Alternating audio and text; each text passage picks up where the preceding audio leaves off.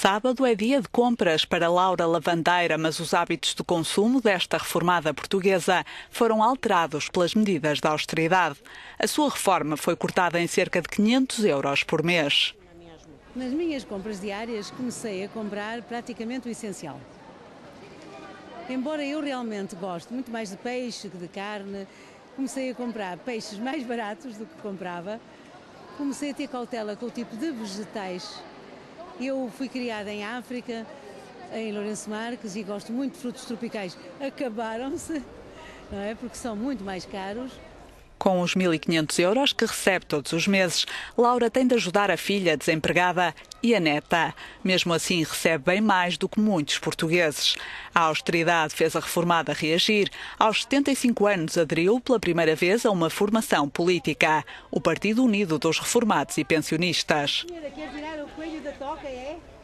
Então. Faça favor, vota em nós. É o corte em tudo. Nós já não somos donos de nada neste país. Eu estive, ao longo deste tempo todo, a ver a decadência na educação, a ver a decadência na saúde. Está tudo decadente. E se nós não lutamos, quem luta? Tem esperança o rumo do país possa mudar com o novo governo, seja ele. Tenho esperança que se nos elegerem, que elegerem alguns de nós, nós possamos contribuir para isso. Se as coisas continuarem como estão, não tenho esperança absolutamente nenhuma é mais do mesmo. Nelson Aguiar pertence a outra geração, mas não tem uma vida mais fácil. Trabalha para três empresas a recibos verdes para ganhar 1.100 euros brutos por mês. Ontem fiz segurança até às 6 da manhã, dormi 3 horas, 3 horas e meia, 4, que normalmente é, é o costume. Fui dar aulas da parte da manhã até à 1 da tarde, Uh, entro às três e meia no ginásio, trabalho lá até às sete e meia, depois tenho duas horas para jantar, tomar um banho, descansar só um bocado, mínimo, e depois tenho que ir fazer a segurança outra vez até às sete da manhã.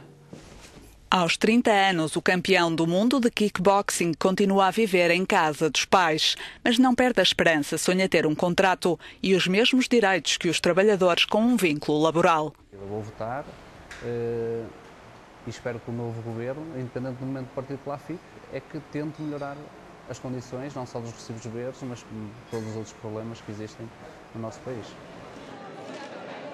Novos ou velhos, os portugueses manifestam desconfiança em relação à classe política e acreditam que pouco ou nada vai mudar com as próximas eleições.